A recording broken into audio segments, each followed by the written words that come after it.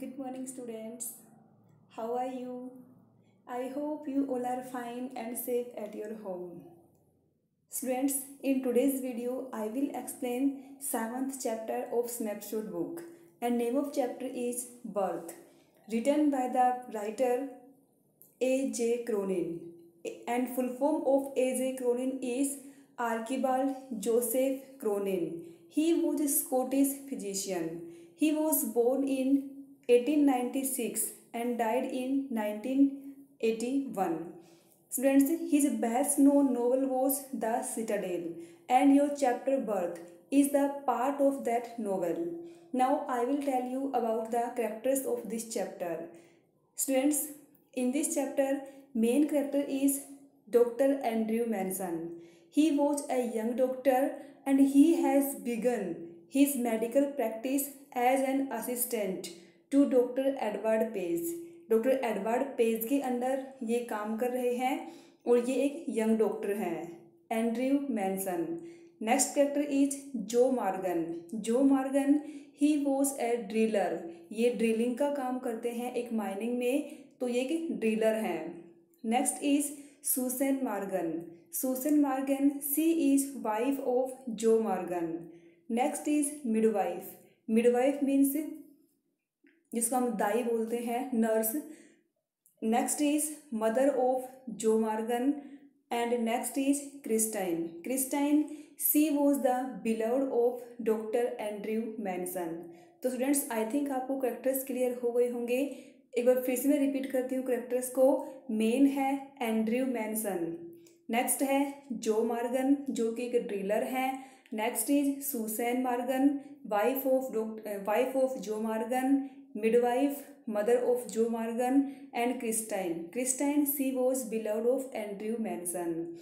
Students इस chapter में describe किया गया है कि जो डॉक्टर होते हैं वो कैसे किसी की लाइफ को सेव करते हैं वो केवल जो उनकी बुकिस नॉलेज है उससे ही नहीं वो प्रैक्टिकल करके भी किसी की लाइफ को सेव कर सकते हैं क्योंकि उनके अकॉर्डिंग बुकिस नॉलेज है वो सफिशियंट नहीं है यहाँ पे इस चैप्टर में ऐसा ही होता है डॉक्टर एंड्रू मैनसन है, वो बच्चे को बचाने के लिए जो मेथड यूज़ करते हैं, वो उसने किसी बुक में नहीं पढ़ा, ये उसने कहीं प्रैक्टिकल, प्रैक्टिकली देखा हुआ था।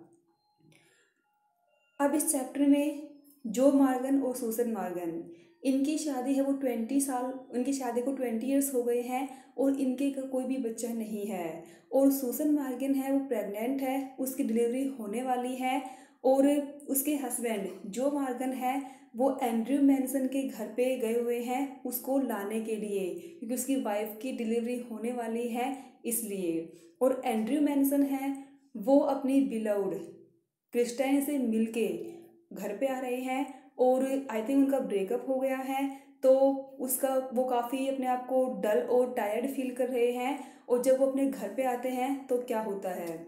अब चैप्टर को देखो। Though it was nearly midnight time है midnight when Andrew reached Bryngower Bryngower ये प्लेस नेम है. एंड्रयू मैंसन है, वो कहाँ पे रहते हैं? ब्रिन गोवर रहते हैं. He found Joe Morgan waiting for him और जब वो वापिस अपने घर आते हैं शाम को तो वो देखते हैं कि एंड सॉरी जो मार्गन है, वो उसका उसके घर पे वेट कर रहे होते हैं। Walking up and down with short steps between the closed surgery and the entrance of the house अब उसका हाउस है, उसकी जो साइड में सर्जरी है, जो कि बंद हो चुकी है, उसके बाहर, घर और उस सर्जरी के बीच में जो मार्गन घूम रहा है, क्योंकि उसका वेट कर रहा है, इसलिए at the sight of him sight means seen burly burly means heavy drillers faced expressed relief relief means comfort और जैसे ही जो मार्गन डॉक्टर को देखता है कि एंड्रयू मैनसन आ गए तो उसका फेस वो काफ़ी रिलीफ फील करता है क्योंकि वो उसी के लिए यहाँ पे आया था और डॉक्टर आ गया है तो उसको देख के वो काफ़ी रिलीफ फील करता है। ओ doctor I am glad to see you glad means happy वो ये कहता है कि तुम्हें देख के काफ़ी खुशी हो रही है। I been back the forward here this last hour वो लास्ट वन आवर से उसका वेट कर रहा है the missus missus means Mrs wants you before time too क्योंकि उसकी जो मिसिज है सुसन मार्गन उसको टाइम से पहले डिलीवरी होने वाली है, इसलिए उसकी वाइफ को तुम्हारी ज़रूरत है। Andrew abruptly abruptly means suddenly recalled recalled means remembered from the contemplation contemplation means meditation deep thoughts of his own affairs अब जैसे ही जो मार्गन उसको बताता है कि उसकी वाइफ की डिलीवरी होने वाली है तो डॉक्टर को अपने अफेयर की याद आती है, अपनी बिलाउड क्रिस्टेन की याद आती है। टोल्ड मार्गन टू वेट वो ये कहते हैं जो मार्गन से कि वेट करो। He went into the house for his bag वो अपना बैग लाने के लिए अंदर गया। Then together they set out for number twelve Blaina terrace और उसके बाद वो दोनों बलेना टेरेस के लिए निकल लिए। अब नंबर ट्वेल्व बलेना टेरेस ये किसका एड्रेस है?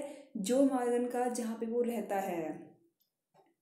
The night air was cool and deep with quiet mystery जो ए नाइट एयर है वो बिल्कुल ही कूल है और बिना किसी मिस्ट्री के है। उस नाइट में मिस्ट्री तो है, लेकिन अभी वो मिस्ट्री क्वाइट है हिडन है।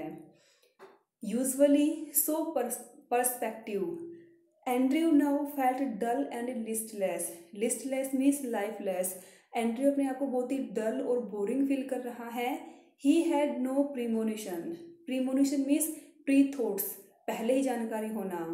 That this night call would prove unusual क्योंकि एंड्रयू मैंसन को अभी ये नहीं पता है कि ये रात उसके लिए कितनी इफ़ेक्टिव होने वाली है. इस नाइट के बाद उसका फ्यूचर है, वो चेंज हो जाएगा.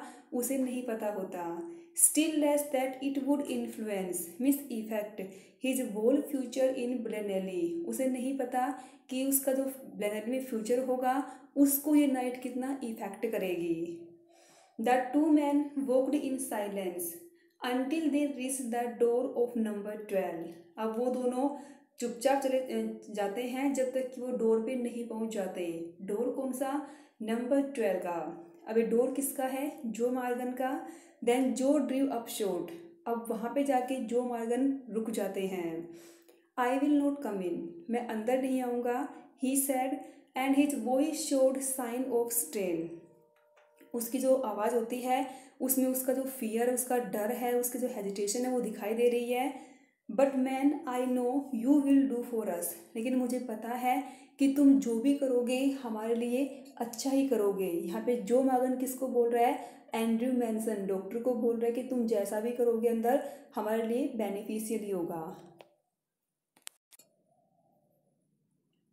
Inside and narrow stair led up a small bedroom जब जो मार्गन अंदर सॉरी एंड्रयू मैंसन अंदर जाता है तो देखता है कि ऊपर एक बेडरूम है और उनके जो स्टेयर्स हैं बिल्कुल ही नैरो हैं। क्लीन बट पुअरली फर्निश्ड जो रास्ता है, जो रूम है, वो क्लीन तो है, लेकिन वो poorly furnished means badly furnished है, जो फर्नीचर है वो अच्छी क्वालिटी का नहीं है।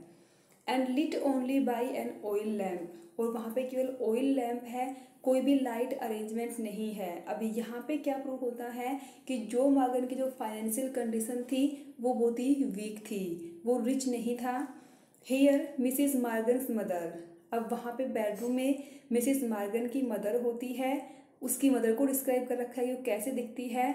A tall grey haired woman of nearly seventy उसकी एज ऑलमोस्ट सेवेंटी ईयर्स है एंड स्टाउट वो हेल्दी है. एल्डरली मिडवाइफ साथ में एक मिडवाइफ भी है, एक नर्स है. वेटेड बिसाइड द पेशेंट जो पेशेंट के साइड में वेट कर रही है. Watching Andrew's expression as he moved about the room और जैसे एंड्रयू मैनसन रूम में जाते हैं तो वो उनको देखती हैं। Let me make you a cup of tea doctor back यहाँ पे डॉक्टर बैक कौन है? एंड्रयू मैनसन को ही डॉक्टर बैक बोला गया है। अब जो मार्गन की मदर कहती है कि डॉक्टर मैं आपके लिए चाय बना देती हूँ। अब यहाँ भी एक क्वेश्चन है कि उसकी मदर है, उसको चाय के लिए क्यों बोलती है? Said the former former means previous quickly after a few moments अब वो ऐसा चाय के लिए उसको क्यों बोलती है? क्योंकि उन्हें पता है कि अभी डिलीवरी में टाइम है और डॉक्टर कहीं ये ना बोल दे कि वो बाद में आएगा, वो केस को छोड़ के ना चला जाए और वो किसी भी टाइप का रिस्क नहीं चाहते क्योंकि ये उनका फ़र्स्ट बेबी है जो कि ट्वेंटी ईयर्स के बाद होने जा रहा है। एंड्रयू स्माइल्ड फेंटली अब उसकी बातों के बाद, उसकी बातों से एंड्रयू स्माइल पास करता है।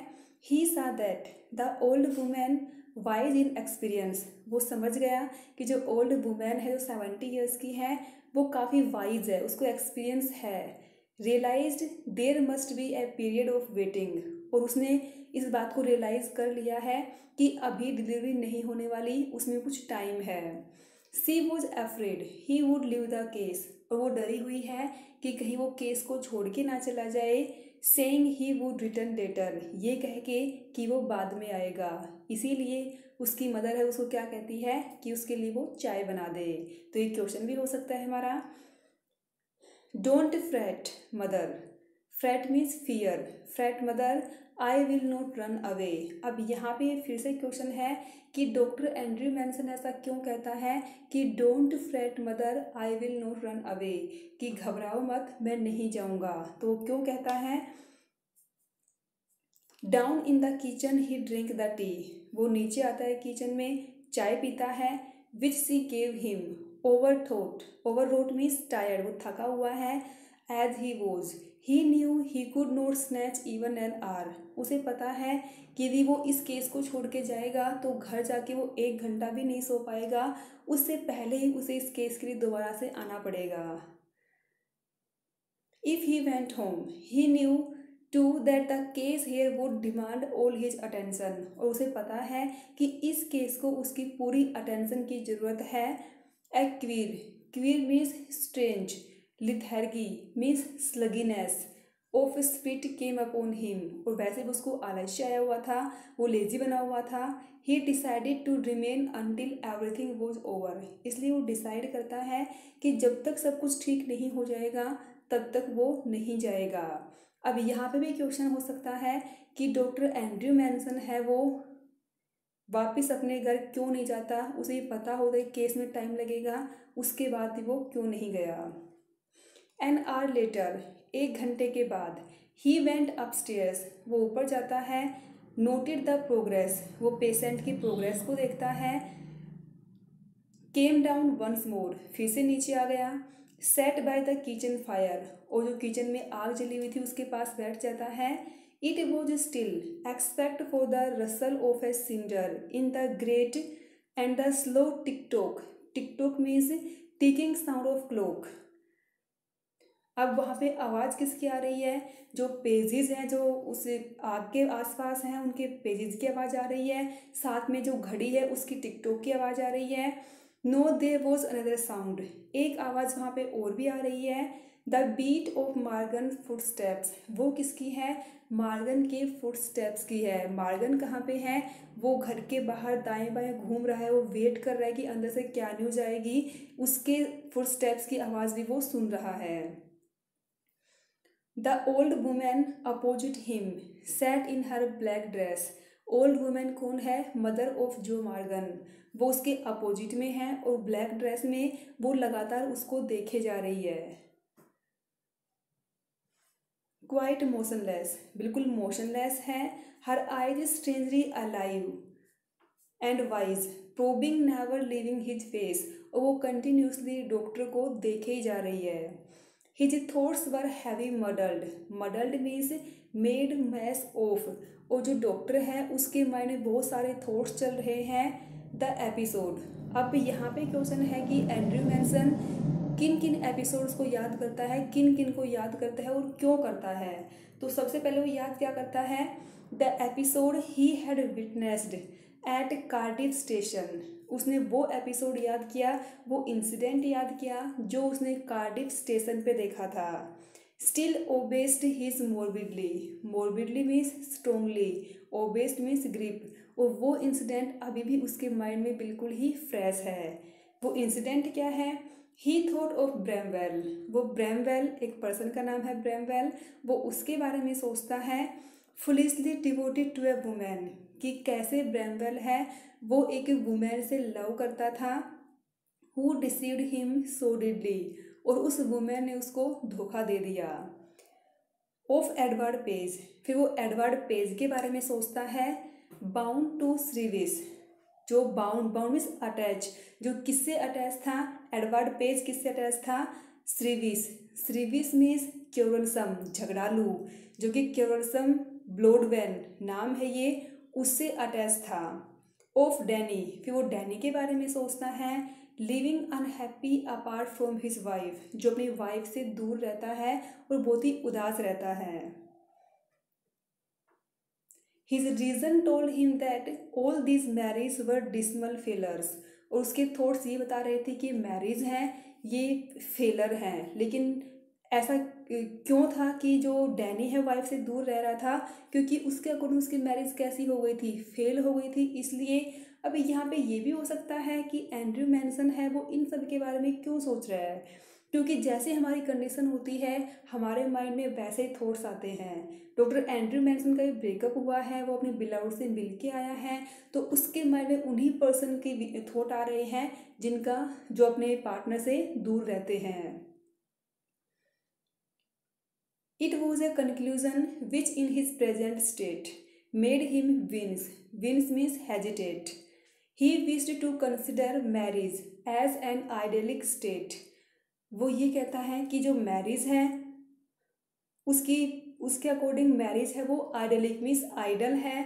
वो मैरिज को अच्छा मानना चाहता है। Yes he couldn't otherwise consider it with the image of Christine लेकिन जो क्रिस्टाइन की जो कंडीशन है, उसको देख के उसे नहीं लग रहा कि वो मैरिज को अच्छा समझ सकता है। Yes he couldn't otherwise consider it with the image of Christine before him her eyes is shining towards him उसकी आइज़ किसकी ओर है? क्रिस्टाइन मिस अभी उसके माइंड में कम्प्लीटली क्रिस्टाइन छाई हुई है। वो उसी के बारे में सोच रहा है, क्योंकि उससे मिलके आया है। Admitted no other conclusion. It was a conflict conflict mean struggle उसके अंदर विवाद चल रहा होता है. Between his level doubting mind and his overflowing heart which left him resentful and confuse और वो अपने कन्फ्लिक्ट की वजह से बहुत ही कन्फ्यूज़ और रिसेंट मीन्स एंग्री बना हुआ है. He let he chin sink upon he chest stretched out his legs वो अपने पैर है, वो स्पैड कर लेता है और अपनी जो जो चिंकमिस थोड़ी है, उसको वो अपनी चेस्ट पे रख लेता है। He let his chin sink upon his chest stretched out his legs stare broodingly into the fire he remained like this so long and his thoughts were so filled with Christine उसके thoughts किससे भरे हुए हैं? Christine से भरे हुए हैं। That he started when the old women opposite suddenly addressed him उसे याद कब आता है?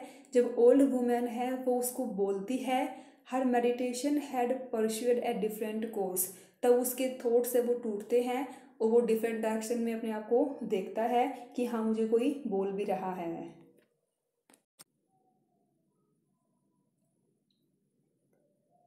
Susan said no to give her the chloroform अब सुसन क्या कहती है कि उसे और क्लोरोफॉर्म ना दिया जाए? क्लोरोफॉर्म बेहोश करने की दवा। If it would harm the baby क्योंकि उसे, इससे क्लोरोफॉर्म का बेबी पे इफ़ेक्ट हो सकता है, इसलिए she is awful set upon this child doctor back back कौन है यहाँ पे? Andrew Manson her old eyes warm at the sudden thought she added in a low tone oh we all are I fancy कि हम सारे यहाँ पे ऐसे ही हैं.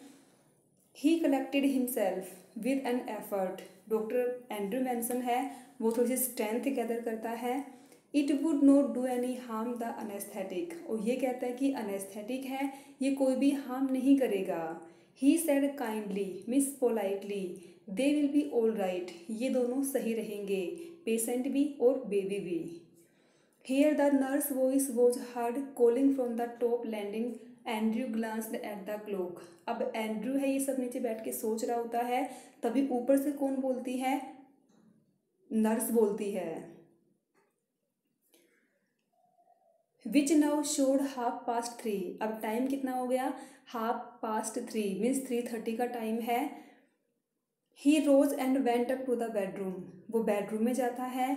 He pursued pursued means understood that he might now begin the work अब उसकी समझ में आ गया है कि अब उसे काम शुरू करना चाहिए। कौन सा काम? कि अब डिलीवरी होने वाली है। अब उसे अपने काम शुरू कर देना चाहिए। एन आर इलेव्ड एक घंटा हो गया।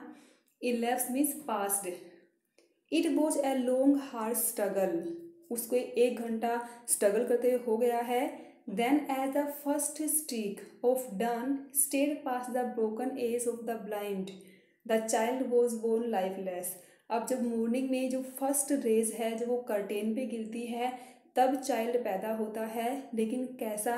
लाइफलेस उसके अंदर लाइफ नहीं होती। तो स्टूडेंट्स आज की वीडियो में हम इतना ही करेंगे। यहाँ तक के चैप्टर को बेटा पढ़ के देखना है। कहीं से कोई भी डाउट हो तो आप मुझसे पूछ लेना।